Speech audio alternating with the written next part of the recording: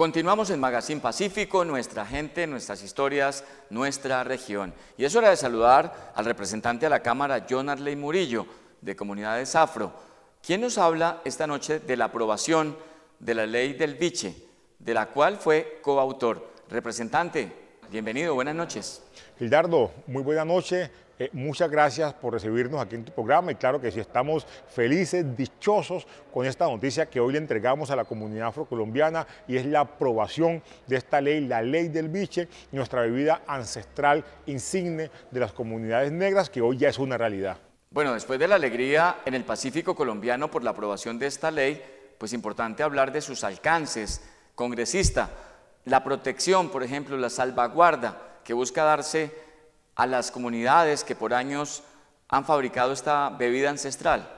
Gilardo, ahí contar un poco el antecedente del biche. El biche es una bebida que llegó a las Américas, a lo que es Colombia hoy, con los esclavos, con los esclavizados que venían de África. Eh, hay una bebida en una tribu bantú que se llama biche, donde se cree que viene el biche. Así que el biche ha estado con las comunidades negras desde hace más de 400, 500 años en este, en este país. Y realmente se ha ido transformando a tener lo que es hoy, esa bebida eh, importante, una bebida que ha intentado ser objeto de usurpaciones. Recuerden que hace algunos años intentó alguien en Cali usurpar, adueñarse del biche y también hay que decirlo, eso despertó y nos despertó a todos para entender que tocaba proteger. Por eso, desde que llegamos al Congreso, nos dimos a la tarea de crear un instrumento legal que protegiera el biche. Y hoy tenemos esta ley, Gildardo, de la cual quiero destacar varios aspectos. El primero es que eleva el biche a patrimonio colectivo de las comunidades afro del Pacífico. En segundo lugar, que garantiza que la producción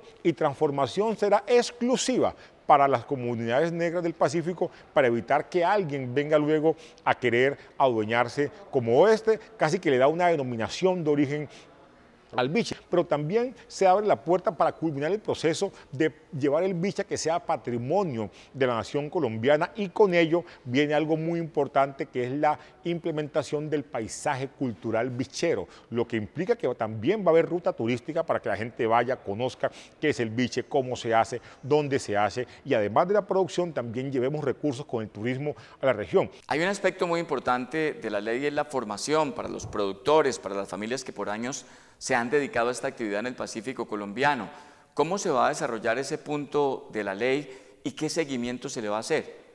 Bueno, en la ley básicamente se dice que el SENA estará obligado a formar eh, a los productores y transformadores para que el proceso que hoy se hace, que es artesanal, pero con muchas eh, cualidades históricas recogidas, también lo vayamos tecnificando sin perder lo importante, sin perder lo artesanal. Por eso, en el INVIMA también se crea que es algo muy importante, un registro y procedimiento especial para otorgarle el visto bueno sanitario al biche. Se crea la categoría AE, artesanal étnica para que el INVIMA cree protocolos diferenciados para que entienda y respete la producción ancestral y no obligue a que los productores de biche tengan que tecnificarse y mate la esencia del biche, que es la producción artesanal que recoge y mantiene el saber histórico. Un lobby muy importante de empresas productoras de licores en todo el país que veían en el biche una competencia.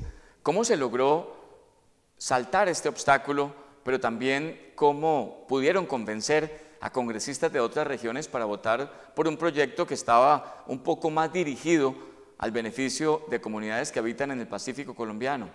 Bueno, en primer lugar decir que esto empezó un proceso con las comunidades. Esta ley se construyó con las comunidades que fueron quienes buscaron para pedirnos que siguiéramos impulsando esta iniciativa en el Congreso. Efectivamente hubo un lobby muy fuerte de sectores eh, de las bebidas alcohólicas en Colombia que querían colocarle cortapisa, que no querían que esta ley se fuera aprobada, pero creo que también el apoyo de la comunidad y la gestión que hicimos en el Congreso, convenciendo a nuestros compañeros, sensibilizando. Yo te cuento que yo empecé a llevar biche al Congreso desde que llegué todos los diciembre le enviaba a mis compañeros una botella de biche para que fueran conociendo qué es el biche, para que a la hora de ir a votar sepan por qué estaban eh, votando. Eh, entendamos que la gente cuando consume biche no consume, Gildardo, el producto, consume la historia que hay detrás del biche, consume los saberes, consume eh, las propiedades medicinales, las propiedades que tiene también el biche en temas como también dicen hasta afrodisíacos, como decía aquí jocosamente un viejo, en el Chocó, en las artes amatorias El biche es una bebida que tiene muchas cualidades, que además de una mera bebida alcohólica, es una bebida con historia, con contenido, y eso es lo que queremos venderle y seguramente lo que la gente va a comprar. Finalmente, usted es el coautor de esta ley junto con Juan Fernando Reyes Curi. ¿Consume biche en sus espacios de familia, de amigos, de esparcimiento? Claro que sí, yo consumo biche permanentemente, compro biche mucho, de hecho en mi casa mantengo mis botellas de biche, los abuelos enseñaban a uno en el Chocó que hay que tener una botella de biche curada en la en la, en, la, en la cama, al lado, al levantarse, se toma uno que se llama en Chocó el maravillo, que es un trago de biche, e igualmente al acostarse, y lo consumo mucho, la verdad, más allá de eventos como el petróleo, también en la casa permanentemente me tomo mis bebiditas porque el biche es medicinal, ayuda para muchos temas, eh, es curativo, y como me dijo una vez un gobernador, llevaba cinco años buscando tener hijo con su esposa, fue al Chocó, se tomó una botella de biche y la esposa quedó embarazada y tiene hoy un lindo niño que dice él que se lo debe al biche. Así que el biche sirve para mucho. Celebremos tomando biche. Representante de la Cámara, Jonarley Murillo, gracias por estar esta noche en Magazine Pacífico. No, Gildardo, gracias a ustedes siempre por estar pendiente, abrirnos las puertas para poder contar temas que nos interesan y para ayudarnos a difundir esta noticia importante de la aprobación de la ley del biche para nuestras comunidades afrocolombianas. Nos vamos a unos mensajes de interés, pero ya regresamos con más historias.